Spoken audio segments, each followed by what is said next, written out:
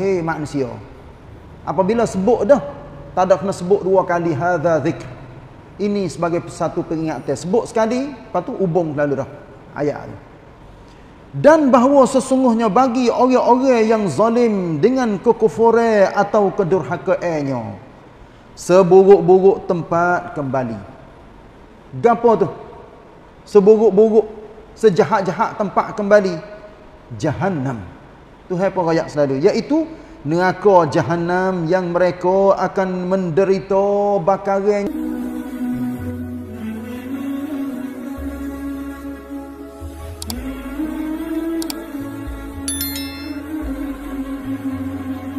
هذا وإن للطاغين لشر مآب جهنم يصلونها فبئس المهاد. هذا فليذوقوه حميم وغساق وآخر من شكله أزواج. هذا فوج مقتحم معكم لا مرحبا بهم. إنهم صالوا النار. قالوا بل أنتم لا مرحبا بكم أنتم قدمتموه لنا فبئس القرار. قالوا ربنا من قدم لنا هذا فزده عذابا ضعفا في النار. وقالوا ما لنا لا نرى رجالا كنا نعدهم من الأشرار. أتخذناهم سخريا أم زاغت عنهم الأبصار؟ إن ذلك لحق تخاصم أهل النار. Ayat 55 sampai 64 surah Sad. Satu guguh pula yang Allah Taala cerita kepada kita hubungi dengan ahli neraka iaitu orang yang durhaka orang yang lawan perintah Allah agama Allah dan orang ganah hidup di atas muka dunia. Sepanjang hidup ataupun sebelum daripada mereka mati inilah watak ataupun kedudukan mereka semasa di dunia. Kemarin kita dengar ayat-ayat hubungi dengan ahli syurga. Orang-orang berjuru orang-orang baik akan menduduki syurga dengan penuh nikmat rahmat kebaikan buat selama-lama. Allah Taala pun royak di dalam ayat 55 sampai 64 ni iaitu hubungi dengan cerita orang-orang yang jahat karut dalam pimpinan Ar-Rahman ia terjemuh nikmat-nikmat ini adalah untuk orang-orang yang bertakwa. Ini bukan maksud dia lagi ni. Dia nak cium ataupun nak sambung antara ayat belum pada ni dengan ayat ni. Hadza Tuhan katanya. Inilah. Sebab ayat belum pada ni pun hadza dzikr. Ini adalah sebagai peringatan bagi kamu semua, hei manusia. Apabila sebut dah, tak ada kena sebut dua kali hadza dzikr. Ini sebagai satu peringatan. Sebut sekali, lepas tu hubung lalu dah ayat tu. Dan bahawa sesungguhnya bagi orang-orang yang zalim dengan kekufuran atau kedurhakaannya seburuk-buruk tempat kembali. Gapo tu? Seburuk-buruk, sejahat-jahat tempat kembali jahannam. Tuhan pun royak selalu iaitu neraka jahanam yang mereka akan menderita bakarannya. Masuk tidak ada seni dan tidak ada berehat di dalam api neraka. Susah, berjerit, tepik, sakit, diseksa setiap hari yang Allah rayak di dalam suratul Nahli zidnahum azaban fawqal azab. Kami tambah azab ke atas azab. Maknanya hari ni sekadar ni esok kau lebih lagi. Lusa kau lebih lagi. Kau lebih kau lebih kau lebih. Wallahu alam. Kita tak tahu katanya lebih bertambahnya azab tu setakat mana. Wallahu alam. Atas dunia ni yang limit iaitu mati.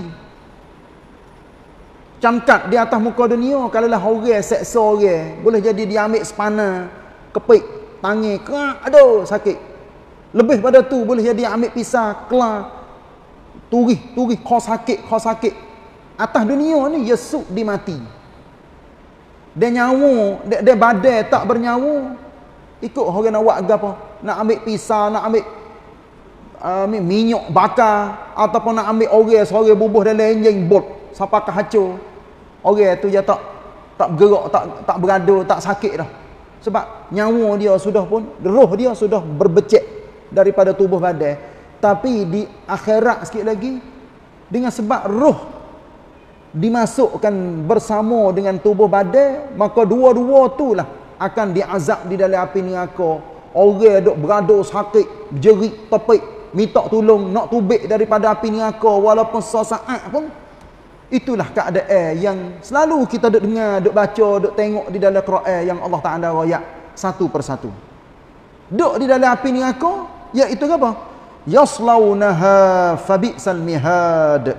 Iaitu neraka jahanam yang mereka akan menderita bakarannya maka seburuk-buruk tempat menetap menetap ialah neraka jahanam itulah neraka yang Allah Taala sedia kepada orang-orang kafir semua. Orang munafik semua. Orang yang ganah hidup mereka di dalam di dunia tak bertaubat tak kembali padahal peluang boleh ada banyak ketika dia duduk di dunia boleh kembali semula. Tapi tak sih. Nak duduk di dalam jahat dalam karuk dia tu.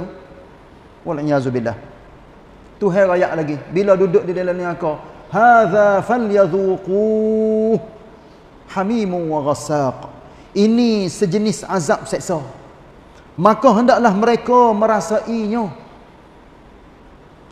air panas yang menggelegak dan air danur yang mengalir air danur iaitu air nacu ataupun air nanuh yang tubik daripada kulit-kulit orang ahli neraka.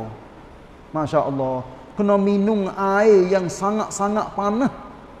Tak minum tak boleh berasa dahaga. Tapi apabila makan hancur tubuh. Cuba kita gambar atas dunia ni walaupun kita cinta nakan buatlah efek dalam komputer setara mana pun tidak akan sama dengan hak kita akan menyaksi di dalam api ni apa ni di akhirat sikit lagi boleh tengok orang-orang hok kena dok azab dari api ni aku macam mana macam mana sebab itulah kalau kita mikir sekali tu leraca yang Allah Taala royak ahli ni aku dengan ahli syurga ni boleh kecek pergi mari ha tu ahli ni aku minta wahai ahli syurga Berikanlah kepada kami walaupun sedikit daripada nikmat hak Tuhan beri kepadamu. Hatakanlah kami boleh menikmatinya. Boleh makan, boleh minum. Ahli syurga. Duk kecek pergi mari. Akhirnya ahli neraka mendapat jawab apa? Inna Allah harramahuma alal kafirin. Allah Ta'ala mengharaikan dua perkara iaitunya air dan kesedapan, keenokan yang ahli syurga mendapat tapi Allah Taala haram kepada ahli neraka. Walaupun air setitik pun tak boleh makan. Masya-Allah. Ini gambaran yang jelas yang Allah rayak di dalam Quran. Supaya apa tu? Supaya manusia hidup menjadi molek atas dunia, beriman, beramal soleh, turut ajaran Nabi, jadi orang berjuru, orang baik, kecek molek, muamalah molek, Ah, otak ni cara mikir pun molek. Makan minum molek. Jangan duk campur dengan benda haram. Puapan dengan corruption menipu kelong go to go ni banyak yang manusia duk buat. Kalau kita tengok pada hari ni memang jelas seolah-olah katanya orang hidup dia tak takut kepada neraka tak takut kepada akhirat teguh dan amarah daripada Allah Taala bila kita tengok gambar ayat so-so ni Wujadilah kita cinta nakan katanya Allah teruknya ahli neraka yang Allah sedia azab kepada mereka. Untuk apa tu? Untuk minumnya mereka. Air ke apa? Air panah dan air naco. Itulah nana orang yang Nabi rakyat katanya. Bila duduk di dalam api ni aku, dia akan makan sendiri air panah dan air nanuh. Terutamanya ni satu hadis yang ada Nabi sebut orang yang minum arak minum benda-benda mabuk ataupun duduk dalam kaya sokmo tak ada kira lah dia cocok kau dia makan dia minum dia siuk dia gapo ikut. Nabi sebut di dalam hadis mudminu khamrin.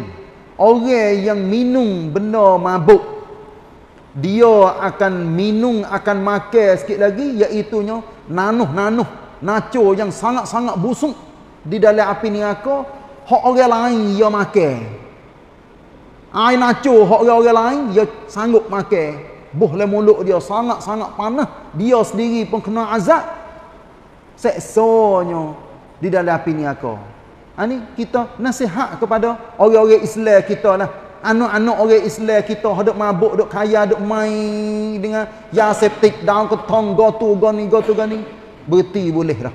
Ingatlah katanya ini adalah seksa yang sangat berat yang Allah Taala akan seksa Bukan saja orang-orang kafir, orang munafik.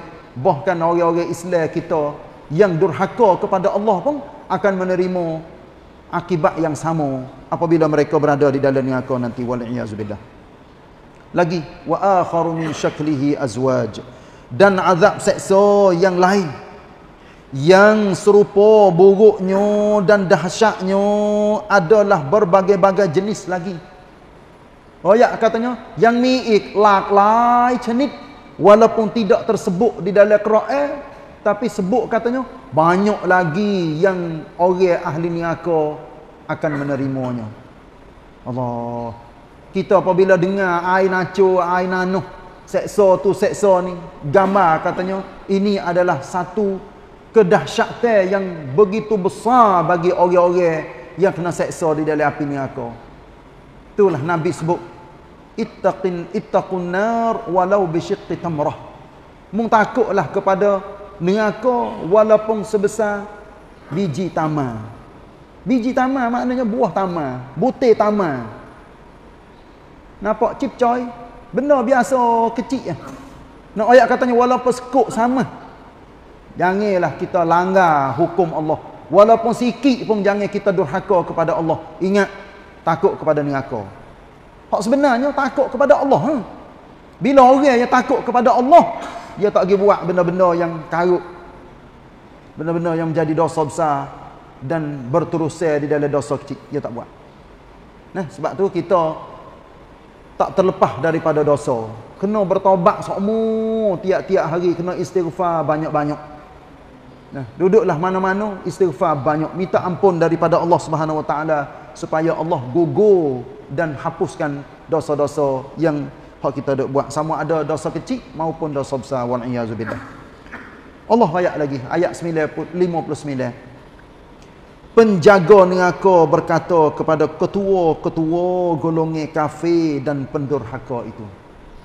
Allah nyanyi deh kau orang kafir. Orang kafir tak sedar ni, tak tahu katanya kita dek tengah baca ha puak-puak dia. Orang kafir tak tahu. Mana buat macam mana nak jadi orang kafir rap ru rap sap. Katanya dalam Quran ni Allah Taala ada royak ha puak-puak dia hampir sekerak Quran. Duk royak. Keracat-keracat banyak di dalam Quran ayat tu ayat ni ayat tu ayat ni. Lepas tu mereka duk berasa katanya agama mereka betul. Hidup mereka betul. Tapi kita naik tanah Islam, orang Islam kita yakin bahawa ini adalah firman Allah Ta'ala yang royak sebetul-betul dan sesahih-sahih perkataan yang Allah royak di dalam Quran ha manusia. Tiga golongan penting yang pertama sekali orang beriman. Yang kedua orang kafir dan orang yang tiga golongan iaitu orang munafik. Lepas tu pelik joy daripada tiga golongan ni ada belaka orang Islam hak berakidah lagu tu, amalannya lagu tu, cara hidupnya lagu tu banyak pelik. Yoi. Orang kafir pula bukan so agama saja dah bahkan banyak walaupun nabi katanya al kufru millatun wahidah. Kafir itu adalah so ya agama. Tapi kuampen lak lai dia tu orang-orang kafe tu banyak. Hak tu semua tokong, hak ni semua bola, semua matahari, semua hoge, semua kap, semua hatu, semua nate, semua belaka. Orang munafik juga banyak. Bukan katanya munafik, kecek bohong, janji silap, kena amanah. Bukan hak tu saja dah. Bahkan munafik ni adanya pelik, yoi banyak lagi. Munafik pasal ha semaya, munafik pasal ha cara hidup, munafik go tu munafik go ni banyak. Pak kita tak ada bosan mana orang kafir jadi munafik. Kita bosannya orang Islam kita jadi munafik. Waliyazubillah. Sebab apa tu? Sebab akidah tak betul. Sebab amalan tak betul. Faham salah. Jadi munafik. Tengok dah. Tiga golongan saat ni. Dua kena masuk neraka. So ya yang Allah Taala rahmat iaitu kepada orang-orang yang beriman. Tu pun walaupun Tuhan tak ada ayat walaupun sayat dalam Quran katanya orang Islam masuk neraka. Tapi kita yakin bahawa kalau lah orang Islam kita yang berdosa banyak buat perkara-perkara tak baik semasa hidup mereka, juga ia kena masuk neraka. Sebab sikit lagi yang ketimbang. Faman thaqulat mawazinu, faman khaffat mawazinu, Siapa yang berat timbangnya dan siapa yang ringan timbangnya dia. Orang kafir tak ada kena kecek dah. Tak ada kena timbang dah amalan mereka. Nanti kena apa? Kena lapar masuk dalam api neraka lalu pok-pok munafik lapar masuk dalam api neraka. Tapi hak tinggalnya orang Islam kita. Kena duk timbang amalan mana baik, mana jahat, mana baik, mana jahat. Itulah keadaan yang sebenar yang akan berlaku di akhirat sikit lagi. Kalau kita benar-benar baca Quran so so so so ayat-ayat pasal ni kalau kita dengar dalam tarawih ketika tu imam duk baca masya-Allah. Kalau tu imam tu faham sungguh Quran dia akan nangis tiok tu biar air mata mengisok ni ayat-ayat pasal ni. Selain daripada ha syurga kita puasa suka hati berban hati bila kita dengar tu imam duk baca tapi bos apa di Ha neraka masya-Allah rasa kecut hati. Tubik air mata. Hubungi dengan ahli-ahli neraka. Inilah yang Allah raya. Hadza faujum muqtahimun ma'akum la marhaban bihim. Tu saya katakan penjaga neraka berkata kepada ketua-ketua golongan kafir dan pendurhaka itu. Allah. Nah, orang-orang yang jadi ketua pemimpin tapi jahat ganah semasa di dunia. Kalau kita gambar siapa kata? Hak jelas-jelas Firaun, Abu Lahab, Abu Jahal, nak Al-Walid bin Al-Mughirah. Hak ni hak tersebut zaman-zaman dulu. Haman, Qarun, orang-orang hak lawan Nabi, tak kira bukan Nabi Muhammad saja dak. Orang hak lawan Nabi-Nabi, Rasul-Rasul. Tiap-tiap masa ada belaka siapakah hari ni. Netanyahu. Nah, George Bush. Ni kita sebut lalu dah. Nama-nama pok dia walaupun pok dia tak mati lagi. Kita tak tahu katanya masa depan nak jadi gapo. Joe Biden. Nah, Rishi Sunak. Sebut belaka nama pok-pok dia. Sebab agak katanya pok ni akan mati dalam kafe belakon. Pok duk ganah. Duk bunuh orang-orang Islam hari-hari ni. Walaupun tangi mereka ya duk royak katanya oh tangi bersih, tangi molek. Tapi orang-orang Islam mati. Nah. Ha Islam tu sendiri terpincang orang panggil. Nak pergi tak boleh dengan sebab apa? Puak-puak ni lah orang duduk benglang, duduk buat jahat atas muka dunia. Go tu, go ni, go tu, go ni. Bon benar-benar tak molek dia lah belakang duk buka. Go tu, go ni, go tu. Ni pemimpin-pemimpin yang kita tengok di atas muka dunia. Mereka itu Duk apa? Duk waktu tubik.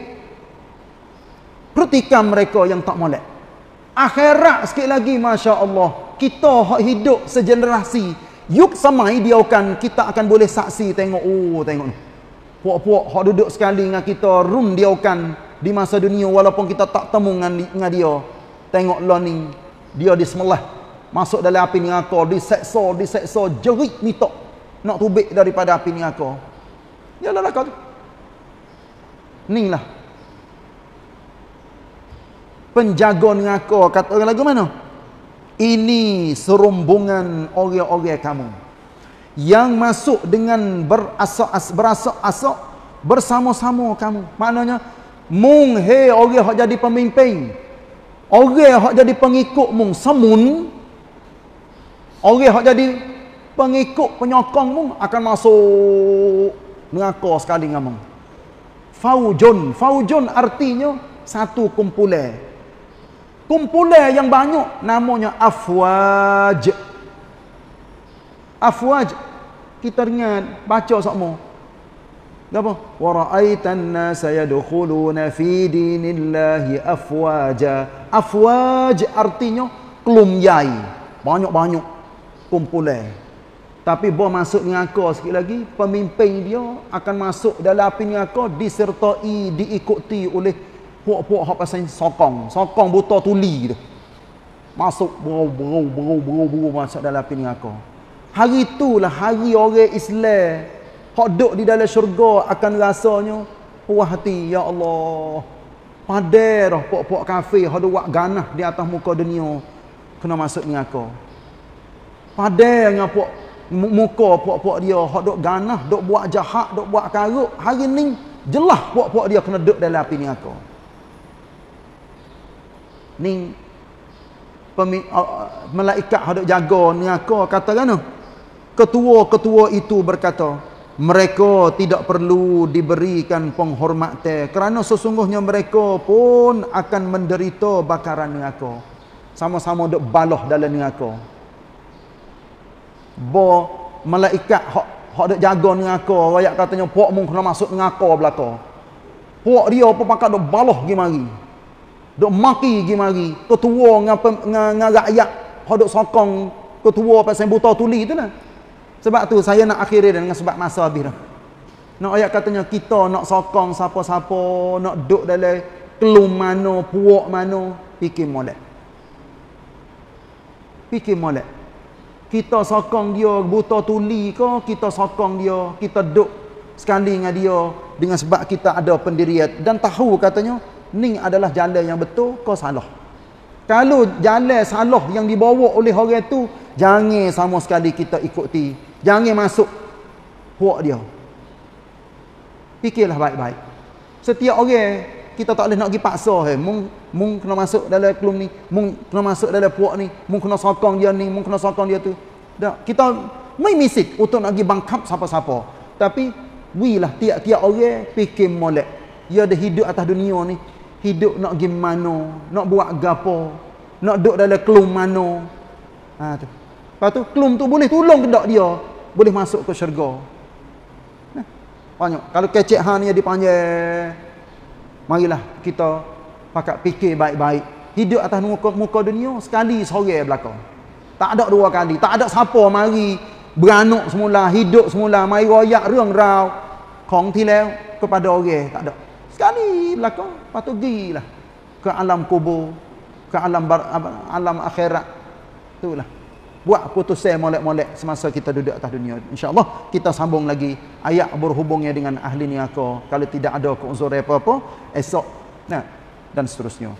Wallahu a'lam. Sallallahu ala nabiyina Muhammad wa ala alihi wa sahbihi wasallam. Wassalamualaikum warahmatullahi wabarakatuh.